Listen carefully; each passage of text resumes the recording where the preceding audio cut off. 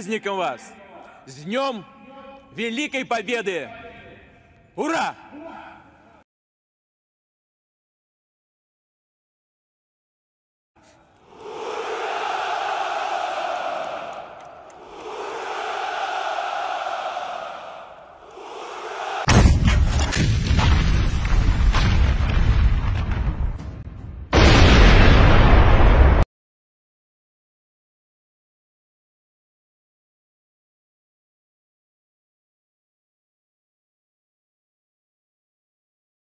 Causes of the Russia-Ukraine conflict. A brief history according to Al Jazeera, about 1,200 years ago, Ukraine, Russia and Belarus were born on the banks of the Dnieper River in Kievan Rus, a medieval superpower that covered much of Eastern Europe.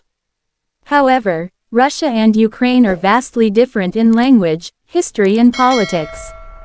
Russian President Vladimir Putin has repeatedly claimed that Russia and Ukraine are one part of the Russian civilization, which also includes Belarus. But this claim was denied by Ukraine. Then Ukraine had two revolutions, in 2005 and 2014, which rejected Russian supremacy.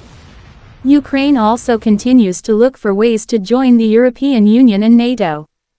Russia strongly rejected this move and asked Ukraine to never join NATO or the North Atlantic Treaty Organization, which was originally established to counter the threat of post-war Russian expansion in Europe.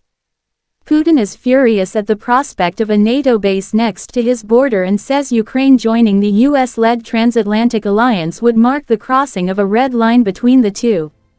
During Ukraine's revolution in 2014, there were massive protests to oust Ukraine's pro-Russian president Viktor Yanukovych. At the time, Viktor rejected an association agreement with the European Union in favor of closer ties with Moscow.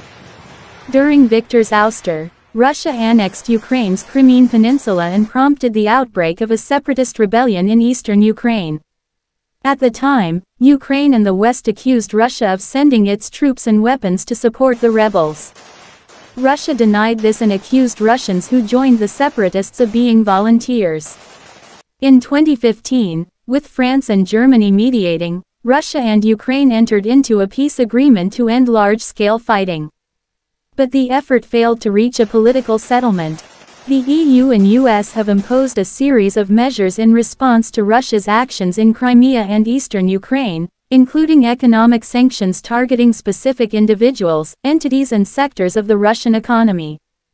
The Kremlin accuses Ukraine of stoking tensions in the east of the country and violating the Minsk ceasefire agreement.